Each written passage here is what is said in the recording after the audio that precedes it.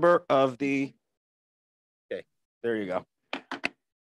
He is a founding member of the uh, Texas Cosmology Center. He's published over 200 papers in theoretical astrophysics. He is in the chair line of the Division of Astrophysics and of the American Physical Society.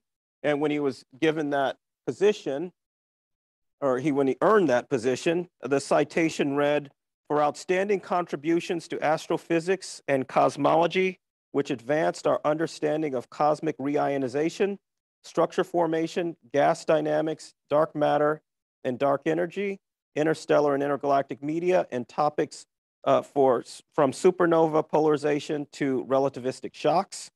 He's won awards from the Alfred P. Sloan Foundation, Fellowship in America um, in, Amer in Physics, uh, UT's Astronomy Teaching Excellence Award, National Chair of Excellence for the uh, Universidad Nacional Autónoma de Mexico, and UT's John W. Cox Fellowship for Advanced Study in Astronomy.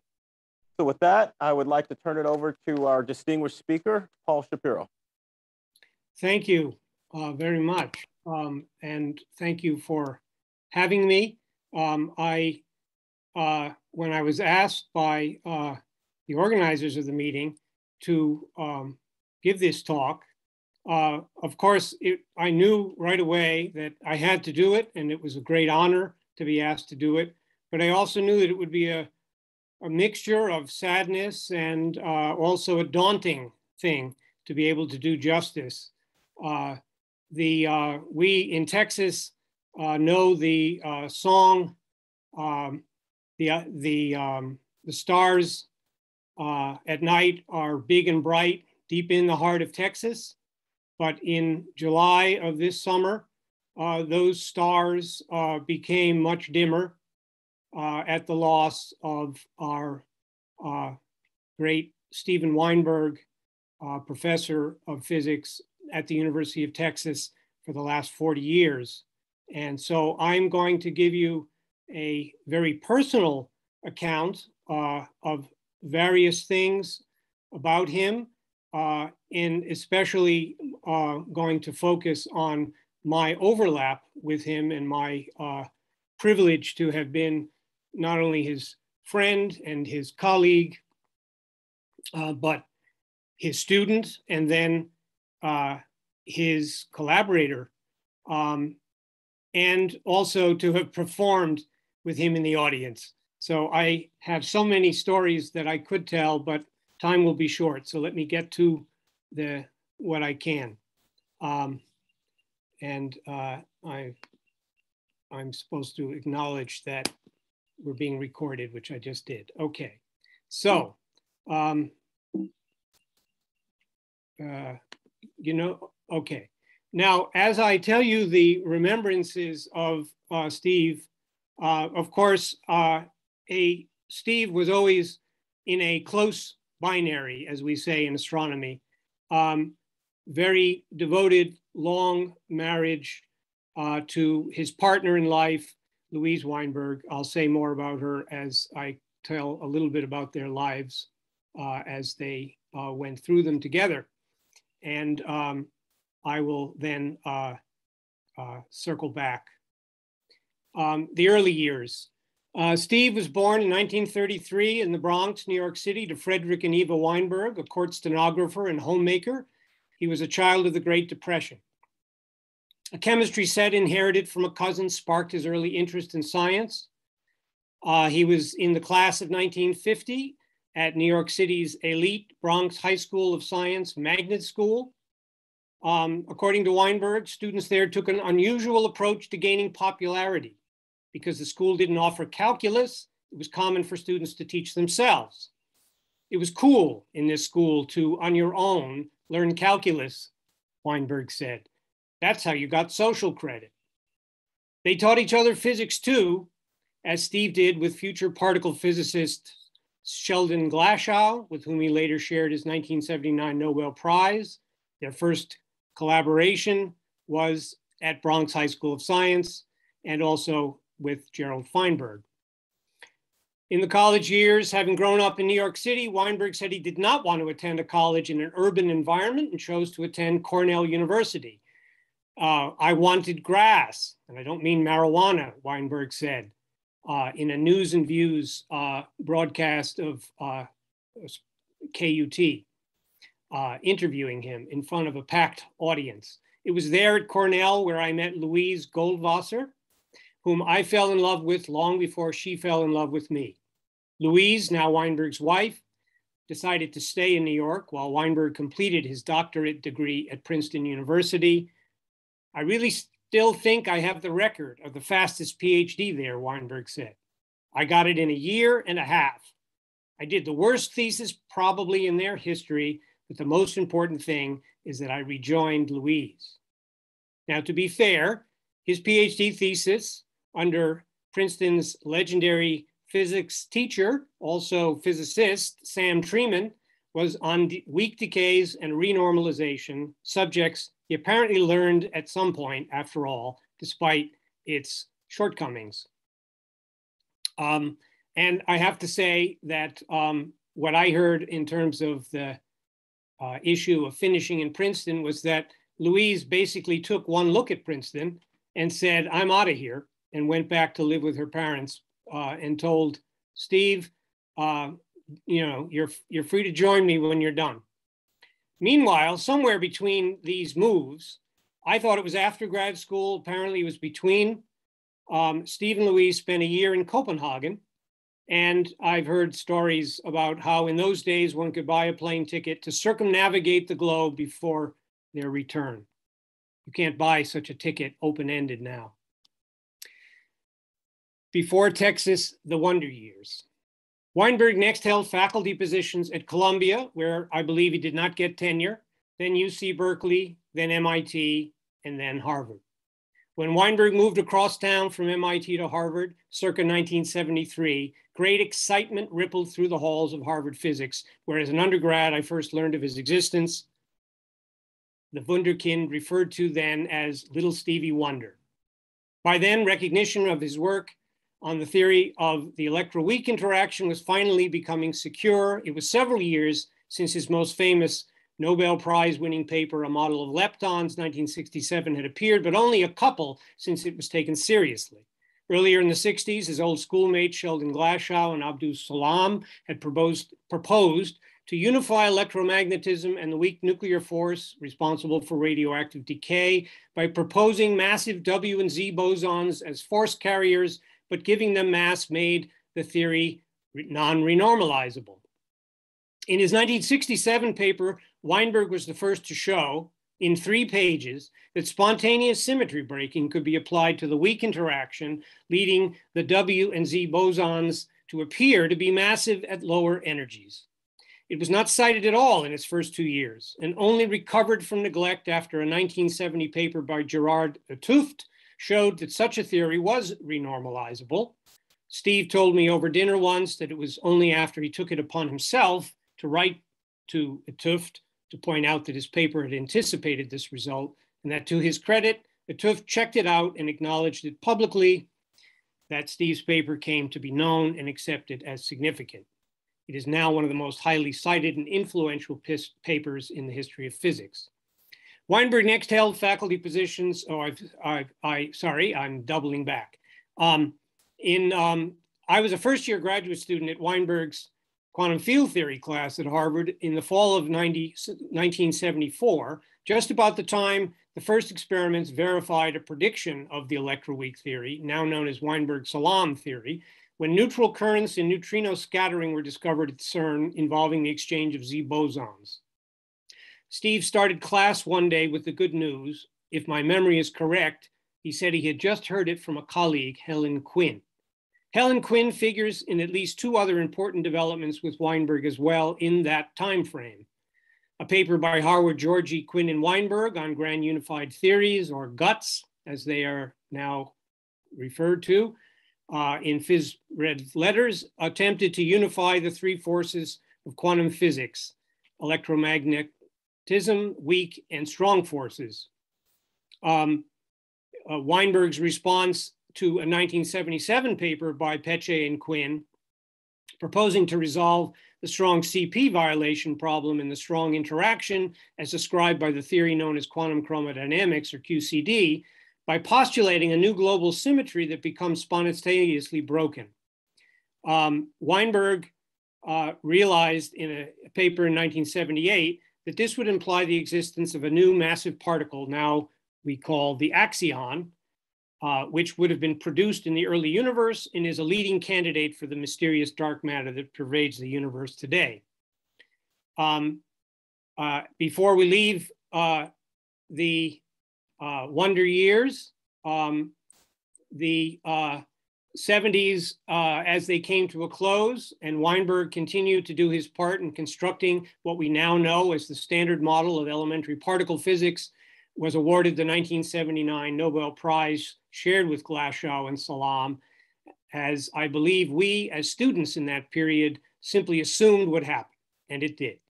Some experimental confirmations of the electroweak theory were still to come, of course. Weinberg accurately predicted the masses of the W and Z bosons, which were discovered at CERN in the 1980s. His theory had also predicted the existence of a new particle, the Higgs particle, which was finally discovered at the LHC in 2012. There's much more to report, and fortunately, Professors Quevedo and Raizen will speak later also about Weinberg and do better justice to his extraordinary scientific legacy and quantum field theory and other aspects. But time limits me, and I want to give Steve, get Steve onward to Texas and share my direct interactions with him in the field of cosmology. Um, meanwhile, Louise Weinberg was also pursuing her academic career as a law professor, and the rumor mill circulated a notion at that time that Steve had declared that the next career move was going to be hers. And so it was in 1980 that when the law school at UT Austin made her an offer of a professorship, someone had the brilliant insight to court Steve and bring them both. I know this firsthand because that was the year I received an offer of an assistant professorship in the astronomy department at UT. And those ripples of excitement I remembered at the news that Weinberg was moving to Harvard while I was a student there were but a small precursor of the even greater excitement I felt at the news that he would move to UT at the very same time I would. There were already distinguished things going on at UT and famous people to join. For example, the Center of Relativity had uh, John Archibald Wheeler and Bryce DeWitt and many others of distinction. Gerard de Vaucouleurs, the famous astronomer, was in the astronomy department. At the same time, by some magical coincidence or convergence, Marshall Rosenbluth the world's, world's leading plasma physics theorist, was also going to join the physics department and build a new group and a fusion theory institute, which had just been funded by the NSF. I knew that too firsthand because I was a postdoc at this time at Princeton's Institute for Advanced Study, just down the hall from Marshall Rosenbluth and his uh, group uh, when the deal was struck. But Steve's move was by far the biggest news. Um, so we come to Texas. Uh, during his time in Texas, I don't have time to do justice to it, but uh, Steve, uh, from the time that he arrived for my calendar, it was the spring of 1981, although officially he's said to have joined in 1982. Um, he built a new theory group um, from scratch, although there were well-known theorists like Sudarshan already here. This was the Weinberg theory group. Um, the uh, Weinberg theory group has on its website a statement of its purpose. The work done by the theory group ranges from physics at the most fundamental level to computations relevant to current observations in particle physics and cosmology. And Weinberg was a professor of both physics and astronomy, and his teaching and research span both fields and departments.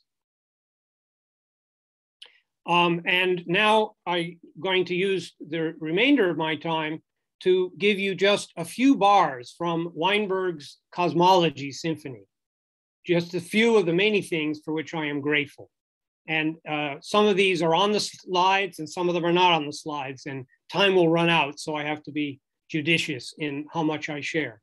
But first, as a Harvard undergraduate, I took Steve's two semester course on general relativity and cosmology, taught from his monumentally important 1972 book, Gravitation and Cosmology, written just a few short years after the 1965 discovery of the cosmic microwave background, put the Big Bang model on firm footing. As a first year graduate student, uh, where I remained at Harvard there, I took Steve's quantum field theory course.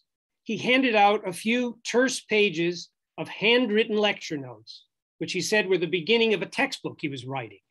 I am sure he really meant it because about 20 years later, he finished volume one in 1995 of his monumentally important three volume textbooks, The Quantum Theory of Fields. This was Steve's modus operandi for the next three decades as well. He taught a new course whenever he wanted to write a new book. By teaching, he taught himself the subject, learning it more deeply than he or anyone else had before, turning it into another legacy book, then moving on to a fresh challenge, a new subject, a new class, and a new book. And what a legacy it is. Of course, I said already about the quantum theory of fields.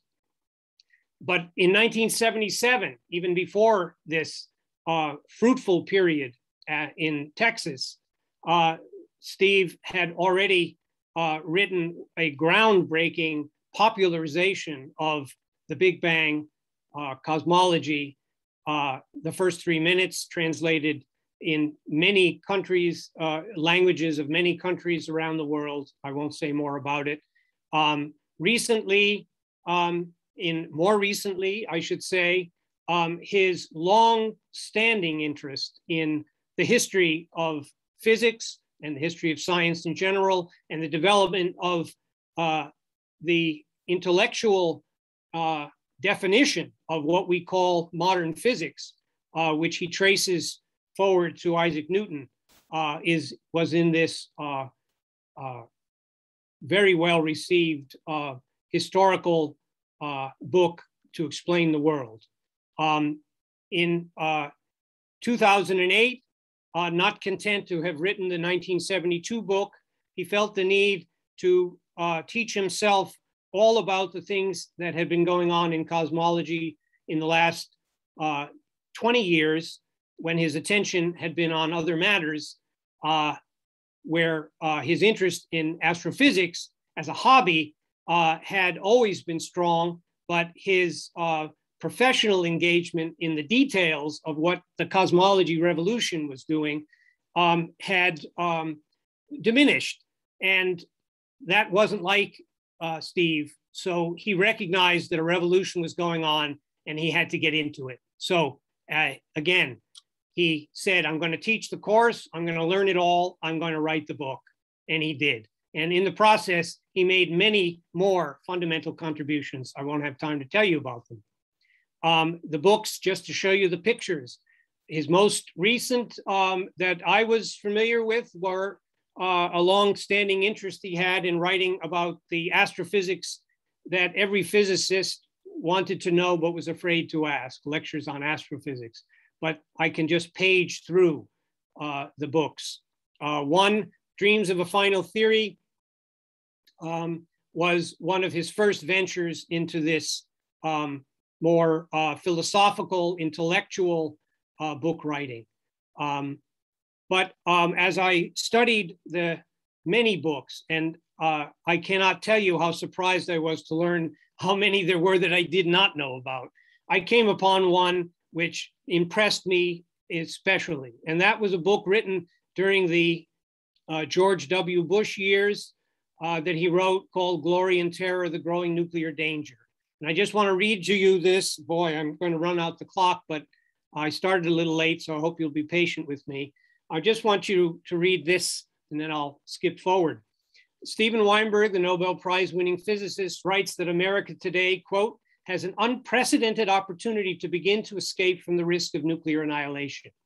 But he warns, President Bush is not only letting his, this opportunity slip away, he is, in some respects, moving in the wrong direction. Bush's abrogation of the 1972 treaty limiting anti ballistic missile systems is one example.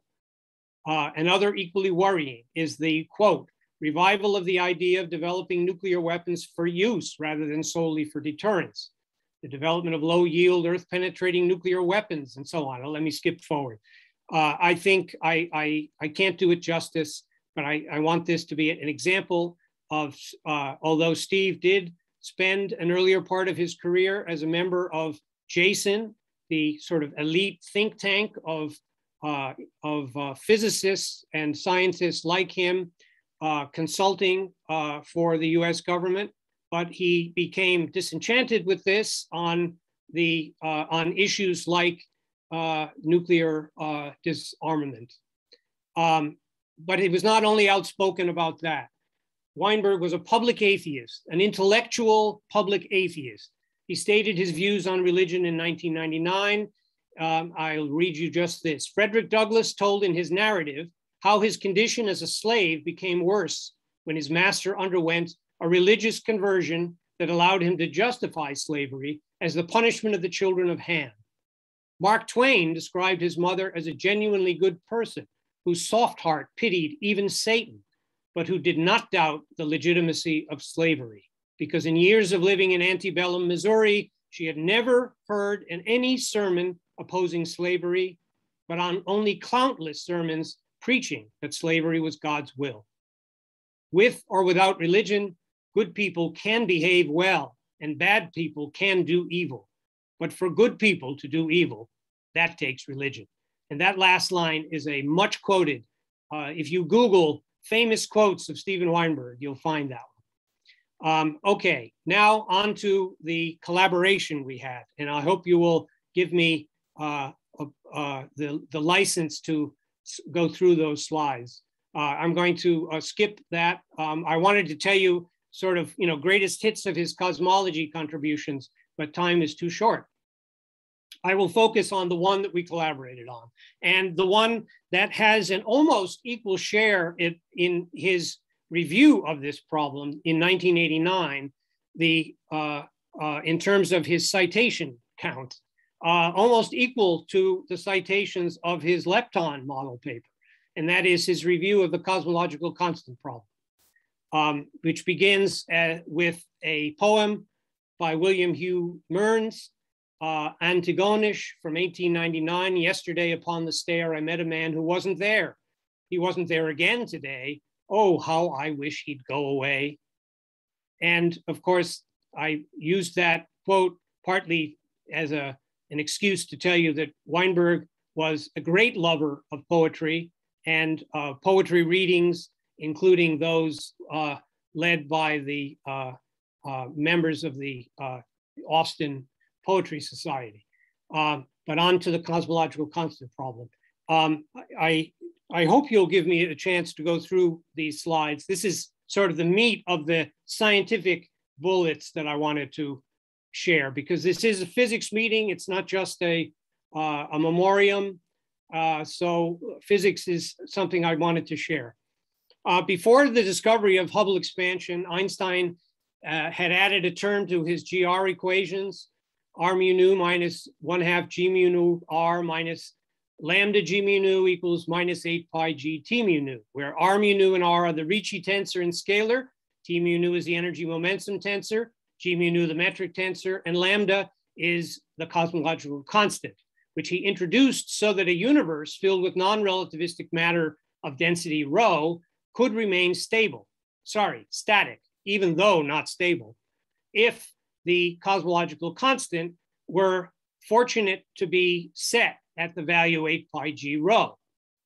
After expansion of the universe was discovered, or I should say the expansion of galaxies, Einstein wrote while in 1923, if there was no quasi-static world, then away with the cosmological term. He considered it inelegant. The problem Weinberg noted, however, is that anything that contributes vacuum energy density rho v behaves like a cosmological constant, as Zeldovich had already suggested quantum fluctuations would do in 1967. Lorentz invariance requires that for a vacuum, the energy ten momentum tensor T mu nu must take the form T mu nu is proportional to G mu nu. It's equal to minus rho V, that's V for vacuum G mu nu which is equivalent to adding a term to lambda, thereby making an effective cosmological constant out of 8 pi g rho v effective equal to lambda effective, where rho v effective, the effective total vacuum energy density, is the sum of the cosmological constant term of Einstein plus the vacuum energy rho v, uh, which could in principle cancel each other out. However, if the a cosmological a constant effective without canceling out um, were too large, it would spoil the rough agreement between the universe we live in today and which we believe for so many years had no lambda and astronomical observations. Um, so if rho v effective is much bigger than the mass density of the universe that we can observe, in fact, the universe would have expanded exponentially fast, which it does not. Um, before the discovery, um, uh, okay. Um, now, the observed energy density of the universe is close to the critical density, which makes the curvature flat for the expansion rate measured today, if expressed by the Hubble constant we measure of 70 kilometers per second per megaparsec. Um, that is in Planck units, about 10 to the minus 23, or in physicist units with the h bar equals to the speed of light equals one, that's about 10 to the minus 47 times GeV to the fourth. The problem is that vacuum energy is expected to be much larger. For example, summing the zero point energies of all normal modes of some field of mass m up to a cutoff wave number, k cut, much bigger than the mass m, gives um, rho v um, equal to about k to the fourth of the cutoff wave number over 16 pi squared. If we said that general relativity was correct all the way up to the Planck scale, then that cutoff scale would be one over the square root of 8 pi g.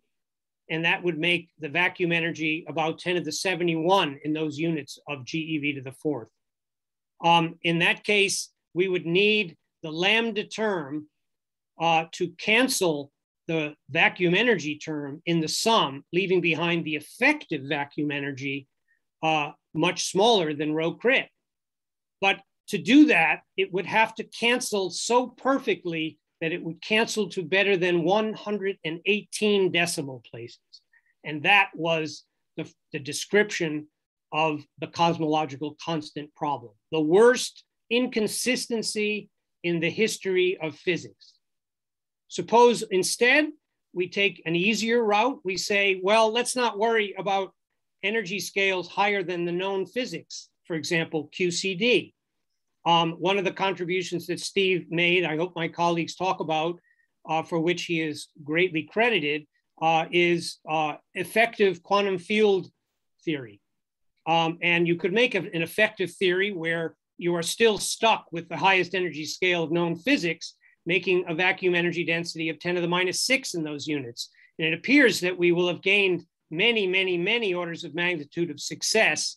Um, unfortunately, um, that we are still required to uh, do the cancellation by 41 decimal places. Houston, we have a problem. So Weinberg actually welcomed the problem. Physics thrives on crisis, he said. Um, I, I wish I could read you the rest. I, I want to speed it up so you can read while I talk. So he surveyed various proposed solutions in five categories. Super, one category, various solutions proposed in supersymmetry, supergravity, or superstrings.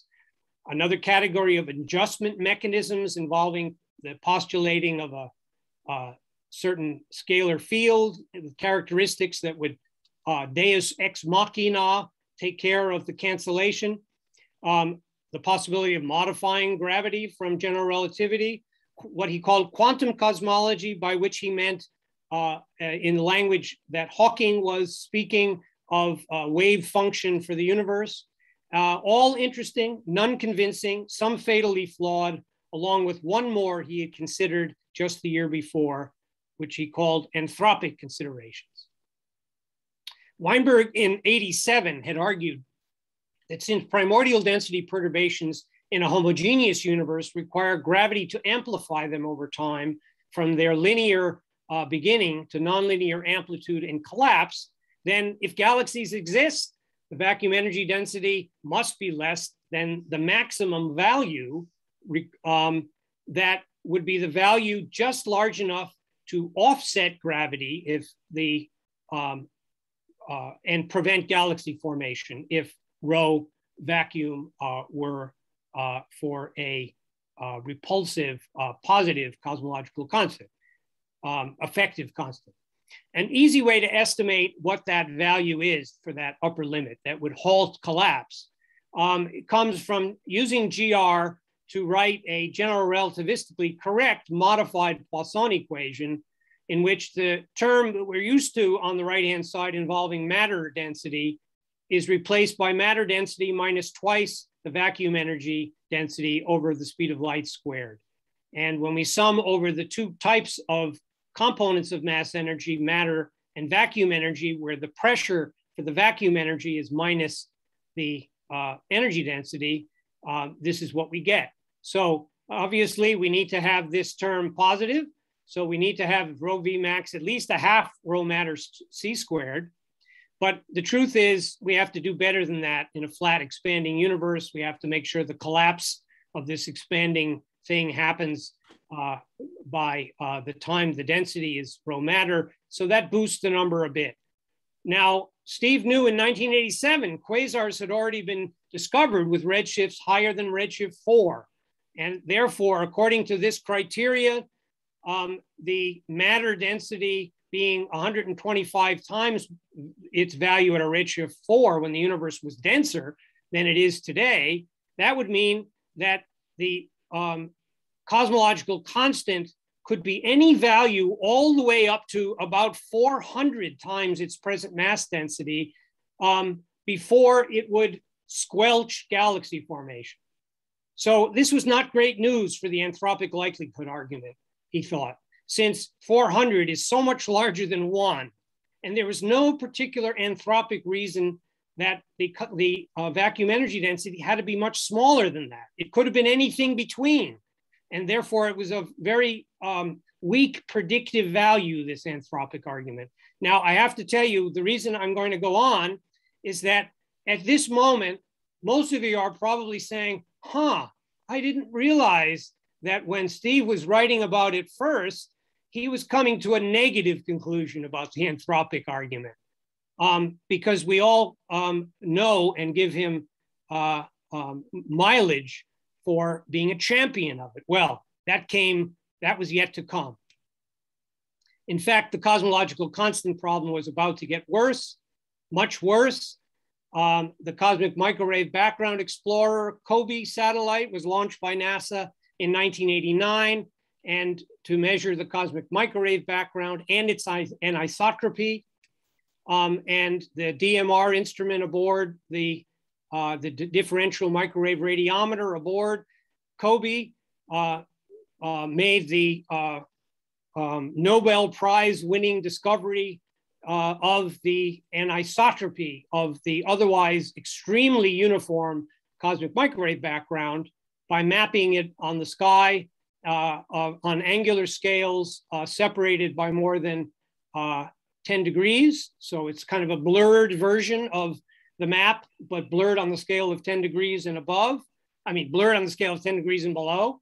And if you subtracted the effect of our uh, Doppler shift relative to the isotropic radiation background, you were left with an RMS uh, density, uh, I mean, temperature fluctuation of only 10 to the minus five as a part of the three relative to the three degree temperature of this black body. Oh my.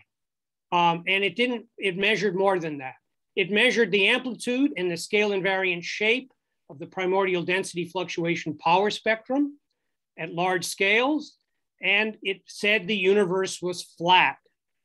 And if the universe to be flat, that means the sum of the densities in units of that critical density to make the universe flat, the fraction of contributing the critical density due to matter added to the contribution due to a cosmological constant or rho v added to the uh, curvature term had to be one. Um, and all of those predictions were consistent with cosmic inflation. Data kept rolling in uh, for the next few years. By 1996, with more COBE data and additional experiments, the case for omega equals one was even stronger. Meanwhile, lines of evidence were gathering to suggest the observed matter density today has omega matter less than one.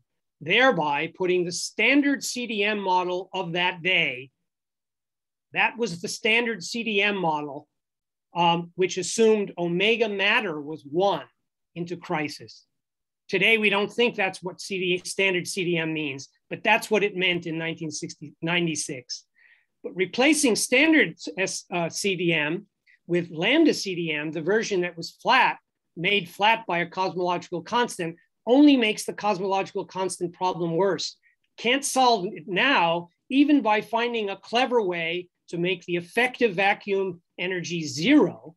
Now we must explain why it is almost zero, but not zero, and so close to the matter density today. Now we call it the new cosmological constant problem. The summer of 96, Weinberg was grappling with this new constant cosmological constant problem, referring to his 89 review as a litany of failed attempts. Something else of great interest, if only to me, happened then too. On May 28th, I became a father for the first time. One day, as I held my baby daughter, Sophia, helping her fall asleep after a bottle, the telephone rang in the kitchen, the days of a landline. It was Steve. He asked a question. This was a frequent, or I should say, not an unfamiliar thing. And when Steve called, I answered the phone. And when he asked the question, everything dropped for me to answer that question. It was very important to me to answer his questions. So I prayed that my daughter would not wake up while I was trying to listen to and answer Steve's question as I held her over my shoulder. How does one calculate the probability of forming galaxies in the cold dark matter model? He asked me. I told him. I could answer that. And what if there was a what if there is a cosmological constant? I told him that too, including the statistical nature of the process as the nonlinear outcome of Gaussian random noise density perturbations. Remember, his 1987 paper only showed that if the cosmological, if the vacuum energy density roughly exceeded the mean matter density, when galaxies formed, collapse would be suppressed. And remember that this would have required the vacuum energy density to be greater than 400 times the mean energy density at the present. So this was not good for anthropic reasoning, uh, since any smaller value than that was just as likely and could be as close to zero as and, and make no difference. Well, what was wrong with this reasoning? Two things, and that's what prompted this collaboration to follow. It yeah. Sorry, Paul. Um, I don't mean to interrupt, but uh, we're um, over time now. So uh, are we almost done? I, I will. Uh, I will selectively. I yeah. will now selectively skip forward to to make that happen. Okay. Thank okay? you. All right. So the two points uh, are to realize that it was necessary to take account of the Gaussian random noise perturbations and what that process meant in structure formation. And uh, he had not done that before. In fact, he had not understood how to do that before. Uh, I knew how to do that. This is what the universe looks like when uh, linear perturbations grow forward in time, uh, making the matter become clumped and clustered. Um, and so from this, I did my best to calculate the answer for Steve based upon some notes that he gave me. And then with my postdoc, Hugo Martel, um, we sat down to uh, generate the answer for him. And for me, it was just what I did with Steve. I mean, it was a reason to do it, even if I had to drop everything to do it. It was interesting, it was challenging, but it was Steve. So I was very pleased, but surprised when he said to me, Well, what do you think? Should we publish this? And I said, Well, sure. And um, out came this paper, Likely Values of the Cosmological Constant. Okay, so I have to fast forward because I'm out of time. Uh, but um, I want to tell you that we calculated the uh, anthropic likelihood um, of uh, the cosmological constant having a different value in uh, different sub-universes of a multiverse. Uh, and I don't have time to go into the justification from various ideas that were abundant at that time as to why we might live in a universe in which there are different regions or subregions that each unfold with their own cosmological constant. Um, and the necessity was to figure out um, what was the probability of R uh, being in one uh, with one value over another. Um, and the uh, the end result. So let me fast forward. Um, is uh, to say that in addition to calculating the probability, we then had to um, gather up all the observational constraints of the day um, that would have uh, restricted the value in our observed universe of the vacuum energy associated with the cosmological constant by um, assembling the observational constraints on the matter density parameter, omega matter, and the dimensionless Hubble constant, assuming that we lived in a flat lambda CDM universe. Um, and we did that. I don't have time to go over all these wonderful things, um, but um, the, I'm getting to the bottom line. The data suggested uh, that we should, we should find ourselves in a universe in which the cosmological constant was between 0.6 and 0.7 of the critical density. Uh, vacuum energy uh, are roughly twice uh, the matter density. Um, and um, the probability of being in such a universe uh, ourselves was between two and 5%. So um, if so, our anthropic likelihood calculation found that the probability of a, a random observer would find a value of this vacuum energy as small as this value in our own subuniverse would be in the range 2 to 5%, well below the median of the probability distribution, but it was broad, but high enough to make the anthropic likelihood explanation plausible. In, if future observations then confirmed this value for omega lambda, we concluded then the anthropic likelihood explanation for the cosmological constant problem is, is viable. This was our anthropic prediction, in fact, of omega lambda. Now I am going to skip to the end. Soon after the anthropic likelihood paper's publication in early 98, 1998, observations of luminosity distances of type 1a supernovae found the first evidence that cosmic expansion was accelerating and if so, that meant the cosmological constant had to be omega lambda greater than half omega matter. And soon after, also within a few more years, the CMB anisotropy measurements pushed to much higher angular resolution, determining the cosmological parameters to great precision, confirming flatness with, what do you know? Omega matter equals 0.3, omega lambda equals 0.7, and the Hubble parameter in dimensionless units 0.7 our, region of uh, what we said was where we expected it to be was is now observed. And this is the last slide.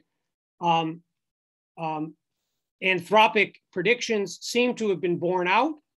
The anthropic likelihood explanation for the cosmological constant problem may be viable after all Meanwhile, new ideas in particle theory seem to make the case for a multiverse stronger. For example, string theory evolved to predict the landscape. Perhaps this weak form of the anthropic principle is necessary after all. If so, uh, and I will conclude now, Steve, forget the Alamo, remember Weinberg. Okay.